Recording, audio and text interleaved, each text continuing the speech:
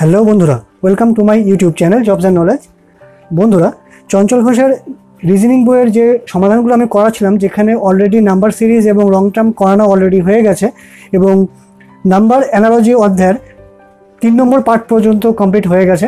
তো আজকে এই নাম্বার অ্যানালজি অধ্যায়ের চতুর্থ পাঠের সমাধানগুলো আমি আজকে করাবো। সুতরাং ভিডিওটি সম্পূর্ণ দেখতে থাকুন, এবং যদি ভিডিওটি আপনাদের হেল্পফুল মনে হয় এবং আপনাদের উপকার লাগে, তাহলে ভিডিওটি কিন্তু লাইক করতে ভুলবেন না।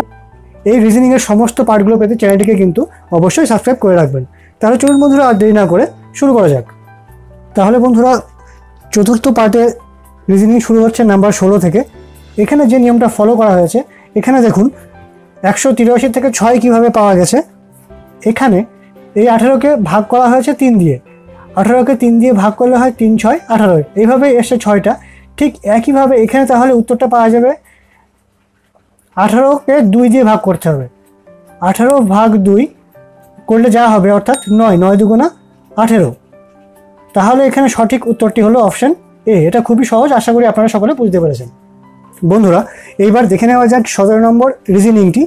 এখানে কোন নিয়ম ফলো করা হয়েছে? এখানে বাহাত্তর থেকে চোদ্দ কীভাবে পাওয়া গেছে? এখানে কিন্তু সাত আর দুই গুণ করা হয়েছে। বাহাত্তর এখানে একবারে ধরা হয়নি, সাত দুগুণে চোদ্দ। তাহলে এখানেও ঠিক একইভাবে চার আর পাঁচ গুণ করলে যেটা হয়, চার পাঁচা কুড়ি। এটাও ভীষণ সোজা। অর্থাৎ এখানে সঠিক উত্তরটি হলো অপশান ডি তাহলে বন্ধুরা, এবার দেখে নেওয়া যাক আঠারো নম্বর রিজনিংটি এখানে যে নিয়মটা ফলো করা হয়েছে, বাহান্ন থেকে নয় কীভাবে পাওয়া গেল? এখানে যেটা করা হয়েছে, পাঁচ থেকে দুই, এটা বিয়োগ করলে হয় তিন, সেই তিনের স্কোয়ার করা হয়েছে, অর্থাৎ তিন তিরিককে নয়। তাহলে এখানেও ঠিক একই নিয়ম ফলো করতে হবে।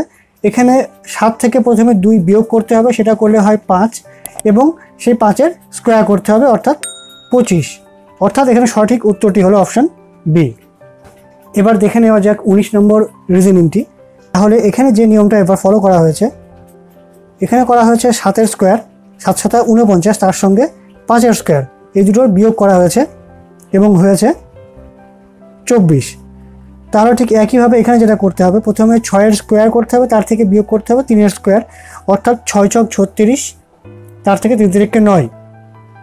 এটা বিয়োগ করলে হচ্ছে সাতাশ, অর্থাৎ সঠিক উত্তরটি হলো অপশান এ তাহলে বন্ধুরা, এবার দেখে নেওয়া যাক কুড়ি নম্বর রিজনিংটি এখানে কুড়ি নম্বরে যেটা করা হয়েছে, এখানে এখানে সাত আর দুইয়ের যোগফলের বর্গ করা হয়েছে। এখানে কাটাকুটি হওয়ার জন্য একটু দুঃখিত।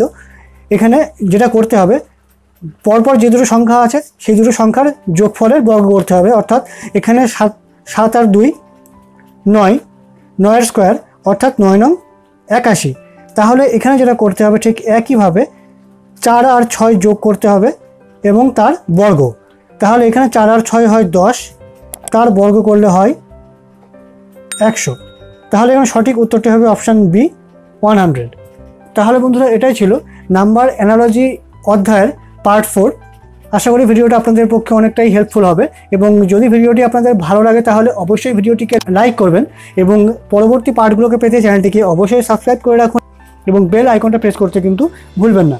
তাহলে বন্ধুরা, ভিডিওটি সম্পূর্ণ দেখার জন্য অনেক অনেক ধন্যবাদ। ভালো থাকুন, সুস্থ থাকুন।